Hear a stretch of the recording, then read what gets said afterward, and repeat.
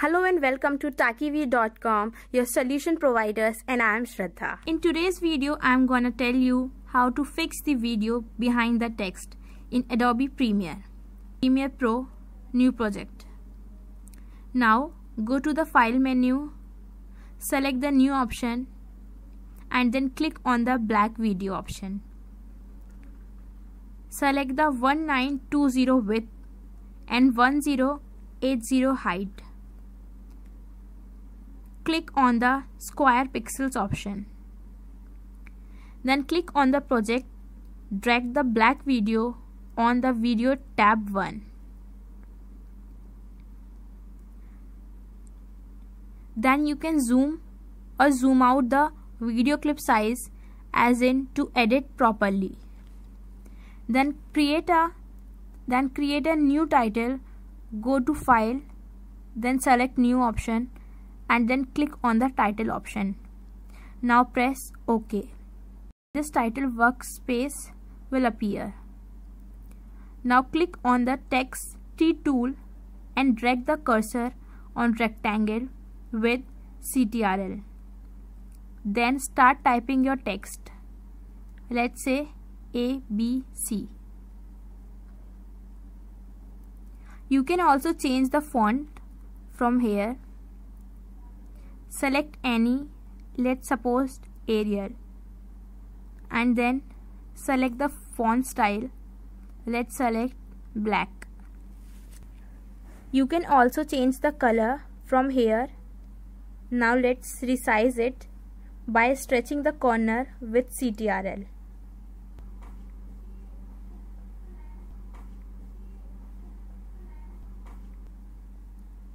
now close this tab now first place the black video in Let's Video 6 tab. Then place the text title above it on Video tab 7. Now go to the effects, select the video effects, then scroll down, select the keying option, then scroll down, select the track matte key. Drag this key and place it to black video. Now import a video file, drag the video and cut the piece of video you want by selecting in and out point. Now click on the reel option and drag the video to workspace video 3.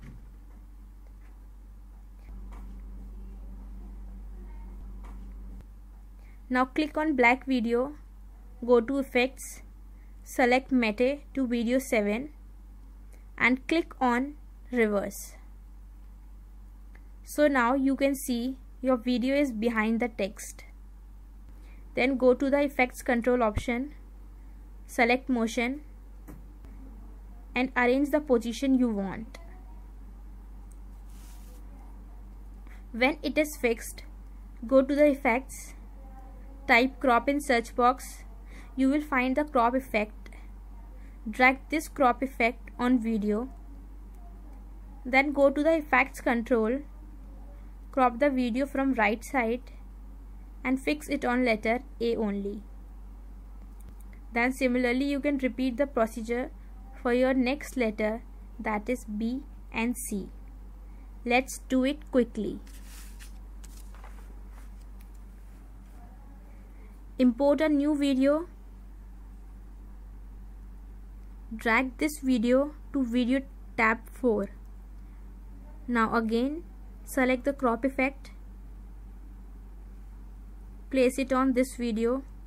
Now go to effect control crop it from left and right also. So that only effects come on letter B. Now again import a new video drag it to the video tab 4 now select crop effect and place it on this video. Go to the effects control. Now crop it from left and right so that only effects come on letter B. Now again import the third video.